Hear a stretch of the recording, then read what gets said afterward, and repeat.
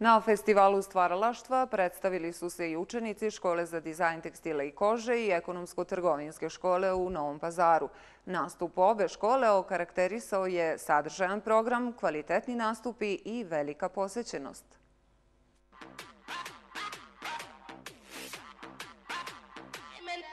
Učenici škole za dizajn tekstila i kože svojim programom obuhvatili su sve kategorije predstavljanja propisane festivalom.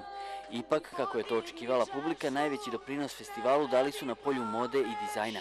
Oni su na organizovanoj modnoj reviji prikazali odabrane modne kreacije, koje su dizajnirali sami učenici.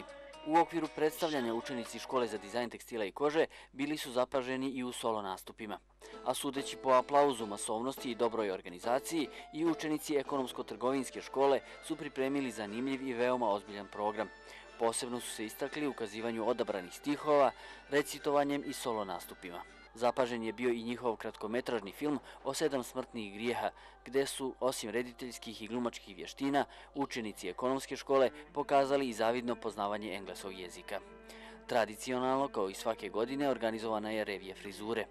Najveći utisak ostavili su članovi kulturno-umjetničkog društva Ekonomac, koje djeluje u okviru škole. Oni su po prvi put na festivalu, ali i prvi put uopšte, predstavili potpuno originalne pokrete i novu folklornu koreografiju koreografa i profesora ekonomske škole Nazima Ademovića, igre i pjesme Doline Rijeka, Ibra i Raške i splet igara iz Novog pazara. Prema očekivanjima, originalna koreografija će se naći na repertoaru brojnih kulturno-umjetničkih društava u Srbiji.